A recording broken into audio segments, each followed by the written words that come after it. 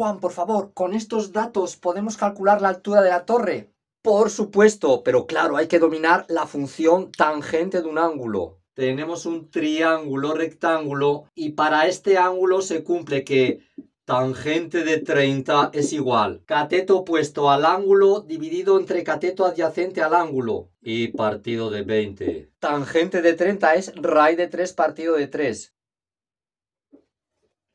Raíz de 3 partido de 3. Despejándola ahí, 20 por raíz de 3 partido de 3 igual ahí unidades metro. Ya está.